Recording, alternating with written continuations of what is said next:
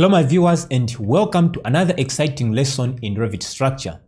In this lesson, I'm going to teach you on how you can reinforce a cantilever retaining wall in Revit. So from here, you see that the retaining wall has been reinforced and we are going to look at how you can reinforce this retaining wall all within Revit. Now, if you want to learn on how to model, you know, this retaining wall, which is unreinforced, make sure that you check the card above right here. This is the video where I taught you on how you can, you know, model this one, which is a cantilever retaining wall, okay? A, a gravity wall, a gravity retaining wall, and also a counterfort retaining wall as you can see from here. But in this lesson, we'll focus on how you can reinforce this retaining wall as you can see from here. So if you like what I'm doing on this channel, please don't forget to like this video, subscribe to this channel, and for anyone who would like to learn Revit structure, Revit architecture, and robot structure analysis in a course, make sure that you check the links in the description. There are some good courses which you might be interested in if you check them out. So let me not waste time. Let's get started in this tutorial.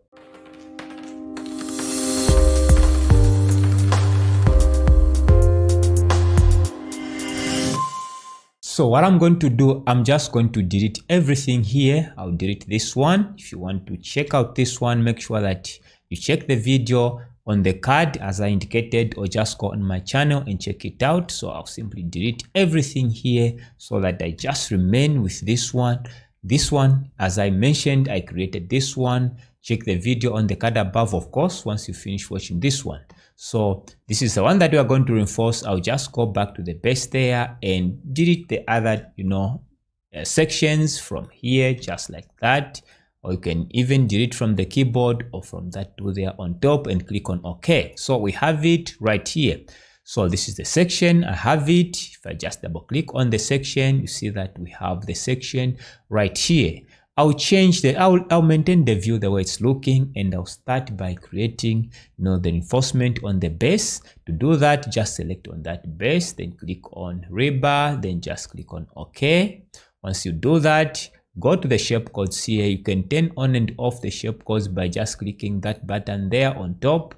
So what I'll do is to simply pick my rebar here again depending on the template that you are using you can pick you know the shape codes from here and also the actual rebar from here. I'm just going to pick 16m and pick m17 as my rebar then once i hover my cursor there i can just click spacebar there. Okay just like that. Then if it's not changing go to placement plane and go to parallel. Okay as you can see i have my bar right there. If i want to change it to fine level of detail so that i see my bar like that. Place my face bar, right click and cancel, select the bar there, then go down to its properties and I just want the A to be maybe 150 and also go to D and change it to 150, okay? Enter from my keyboard, as you can see, I have the face bar there. I'll select on that bar and change it to maximum spacing and I want this one to be 200 as my spacing move my cursor inside click once and I'll simply close the base there. If I check within the 3d view see that I'm not seeing anything there. Actually the rebar is there. So if I just select on that you see that I have the bars in one direction there. So I'll go back there and make sure that I have bars even in the other direction and also on top there. So first of all, I'll select that bar and then go to, to mirror, just click there and I want to draw the mirror axis from that point to that point to see that it will be mirrored there on top. Then if I go back there, just pick on that base, you see that I have the rebar on top at the bottom in one direction only. So I'll go back there, select on that one there, then select on that rebar tool there and I just want to pick the first one which is M00 then select on it and I want the placement to be perpendicular to this one. Hover my cursor there. As you can see we have the dot there. So that's what I want. I'll just place my first bar somewhere there then modify select that bar and I just want to change this one to maximum spacing. And I want the spacing to be 200 as you can see from here. Okay so if i select on that bar i'm able to drag it inside like that I can also drag the other end up to somewhere there, click outside. So I'll also mirror this one by selecting on it, then click on mirror there, then pick this point, I'm drawing the axis, then that point, you see that I've mirrored the bar right there. So we have the bars both at the bottom and on top. If I go to my 3D view there, then select that one, you see that I have the bars both on top and also at the bottom as you can see here. We are going to make it transparent later on but i'll just leave it the way it is for now. Go back there. Let's now finish up the bars. Now as i mentioned by this time as you are doing this will have designed your cantilever wall. So i'm just placing you know these bars you know roughly at random. So if you already have the actual dimensions especially on the lapping make sure that you stick to that as per your design. But i want to show you on how you can use revit to do these things okay?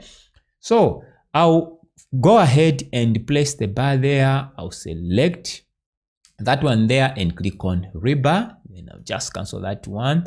So i'll use the first one there. And again i'm using 16m Okay, then I'll pick sketch this time and select that one there, the wall, and I just want to sketch the bar from, you can see that it's snapping there. I'll just pick that point. Again, make sure that you stick to your lapping length according to the code, but I'll just extend it a bit up to somewhere here.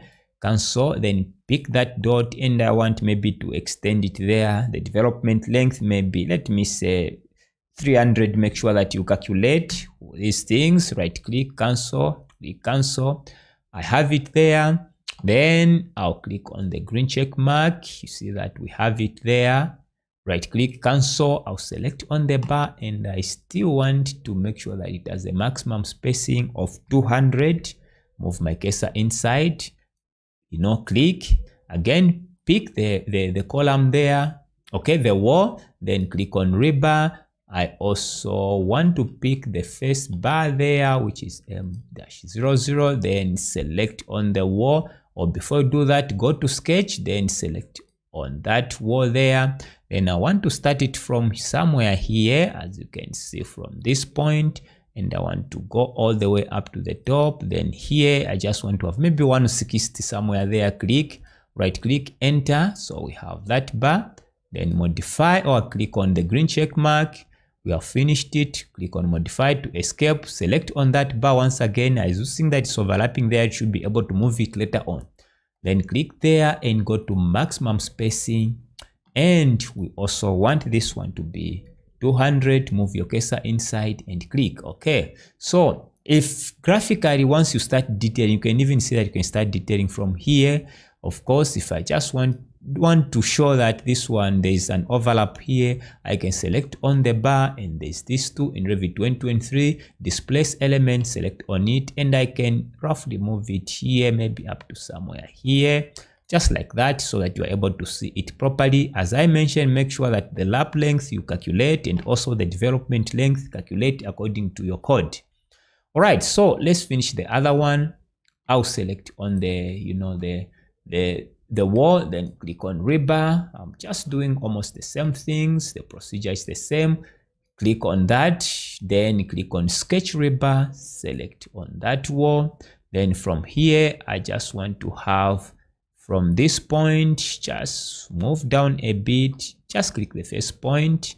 Then I'll have it up to somewhere here right click cancel then pick that one. I just want to end it up to somewhere there. Right click cancel. So i have it there then finish there. Okay we have it there. As you can see cancel. I can select on it. That is 16m i want to have maximum spacing once again and i want this one to be 200 move my cursor inside and click. And then once again click on the wall rebar there. Or if i want i can even select that bar then here. Right click create similar I don't have to be going there but make sure that you switch it with this one because it will pick that one. So i want to use that one and click on the sketch there then pick the wall there. Then I'll, i want this one to start from this one then end up to maybe somewhere there to leave some kicker a bit of a kicker there. Then pick that point and it's up to you. There there if i want to have 160 right click cancel there right click cancel then click on the green check mark to finish escape from modify then select on the bar there and want to change this one to maximum spacing once again then 200 as you can see there. Click inside there then i want to select on that bar and displace it a bit by clicking on displace elements because i want to the the the, the one who is construction should be able to see that there is a lapping there. Click. If i go there and simply select actually let me now select all the bars there then click on filter then check none then structural rebar apply okay then i'll go to the visibility view visibility states there and i just want under the 3d view i want to see the bars are solid then I make sure that I go to fine level of detail click. You see that we have the bars here as you can see. Now let's finish up the bars in the other direction. As you can see we have the bars. Let me go back to the section. Then what I'm going to do is let me simply pick that bar right click create similar okay so you see that i'm able to you know to create bar like that you see that it's aligning with that face as you can see so Revit is very, very good. It's able to tell that it's supposed to align there. I'll simply place it somewhere there and I'll go ahead. As you can see on the other side, there is a tool that you need to use. Okay, is it aligning there with the vertical one?